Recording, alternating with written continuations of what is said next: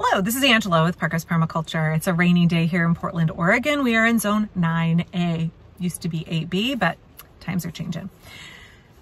So it's rainy, I'm in my car, and you may say like, well, why are you wearing sunglasses? Uh, I have an autoimmune disease that is flaring really badly right now and it attacks my eyes. So sunglasses it is for the video today and maybe for the next couple videos. Uh, despite being on steroids and three different kinds of antibiotics, it's struggling. So today I want to talk about dandelions. And if you live here in the Pacific Northwest, dandelions have been blooming for a number of weeks. And by dandelions, I mean a number of species in the genus Taraxacum.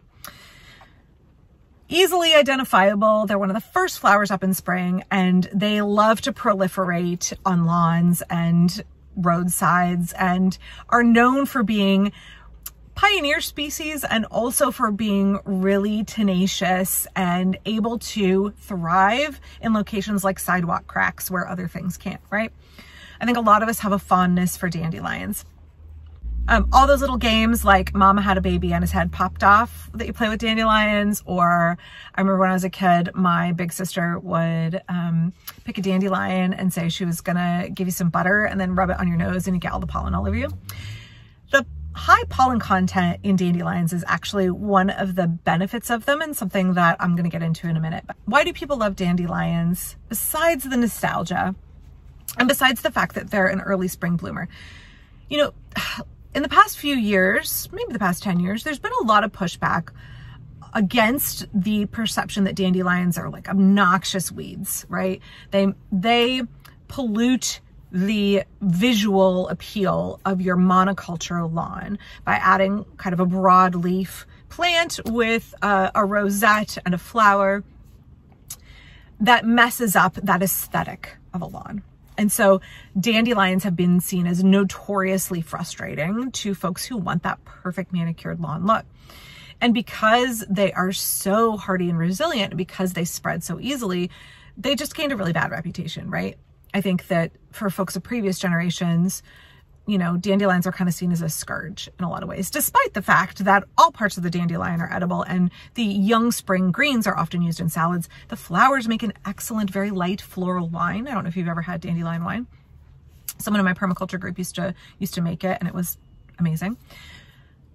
So Taraxacum, um, you know, this movement, the last decade or so, has pushed back against the idea that dandelions are a pain in the behind and so let's preserve them. They're a really early flowering plant and they are great forage for bees. When bees are really hungry early in the year and there may not be other things blooming yet. So let's leave all the dandelions and we'll save the bees by doing that. And that's a really good positive message, right?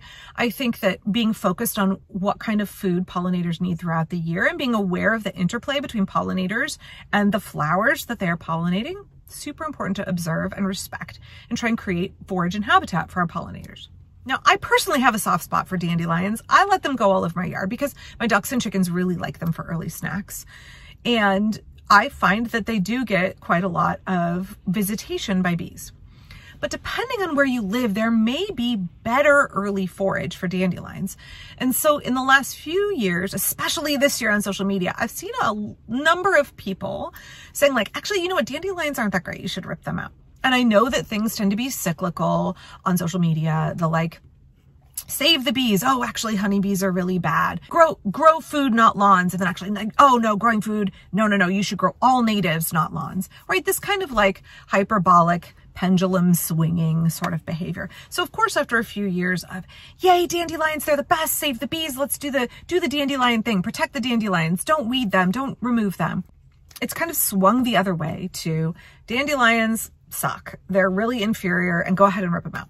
Now, depending on where you live, they may be native or they may be introduced or they may be invasive.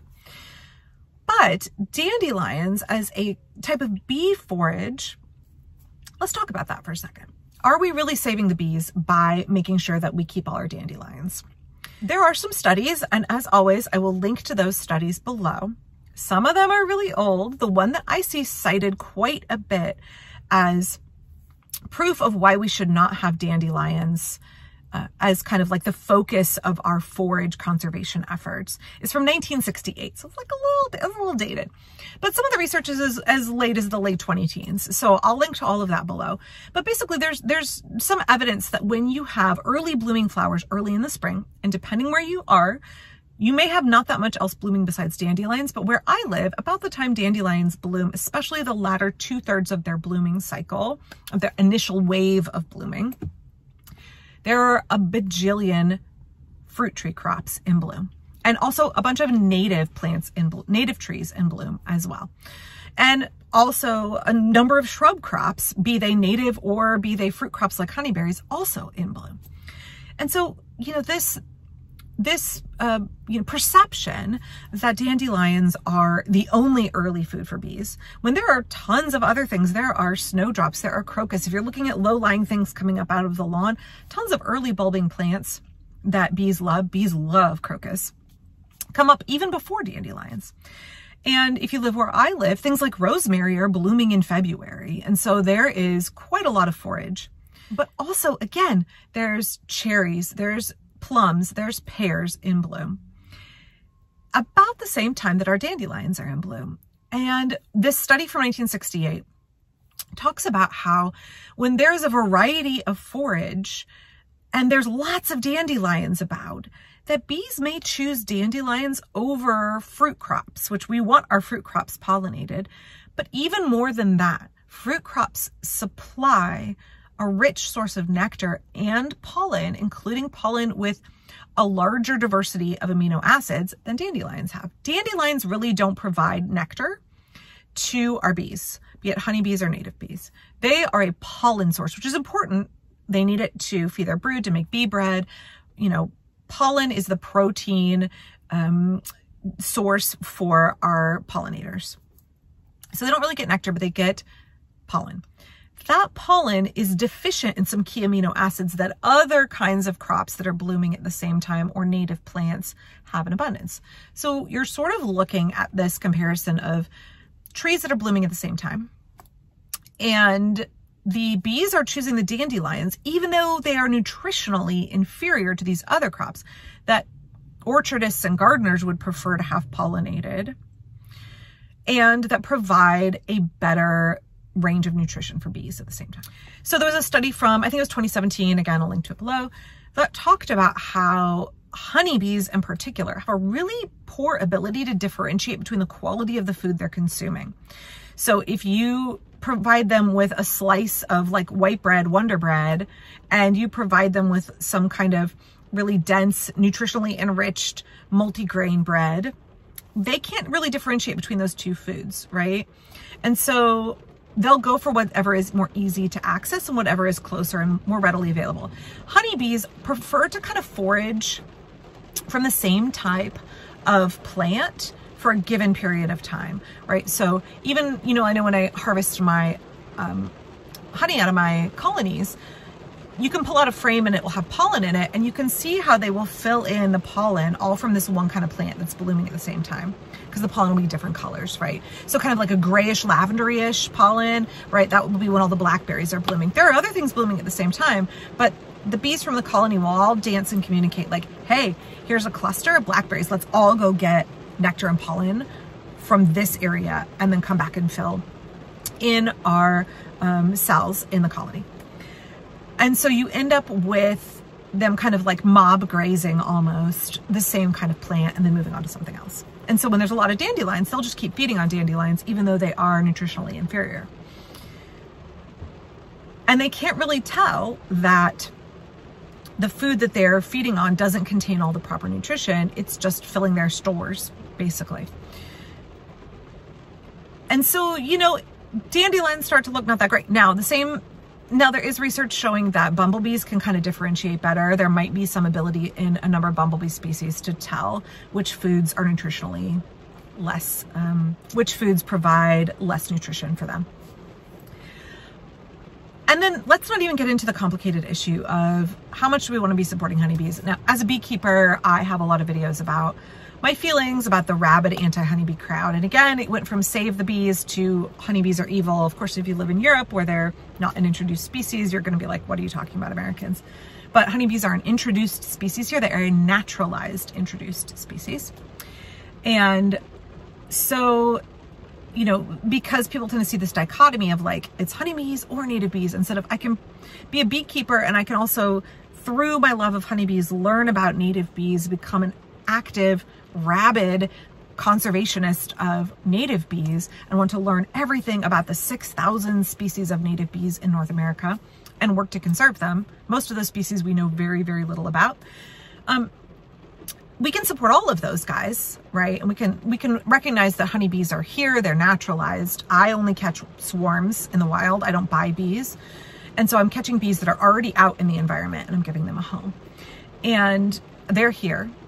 And so I do actually want to supply, their nutritional needs and I want to care for my colonies and get honey from them, which is more environmentally sustainable than, you know, GMO sugar beets.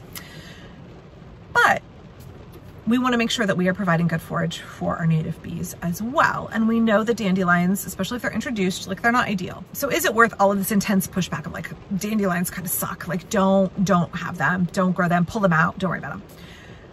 Think it's a much more nuanced conversation than that. And as with anything on social media, that tends to be how it goes, right? This very strong polarity, these very strong opinions, because that, cause that's what gets clicks, right? Having this, like, don't do that, actually do the complete opposite. What we know about dandelions is that if all you have is a monoculture lawn that is essentially a food desert for pollinators, and there's not a lot else around, dandelions are not a bad option. The downside of that is that dandelions growing in a lawn are much more likely to be exposed to pesticides and herbicides because people tend to treat their lawns. And so you're looking at a forage that is nutritionally inferior and also may be sprayed. If people use best agricultural practices, there is a much lower risk to tree crop flowers being contaminated with pesticides and herbicides.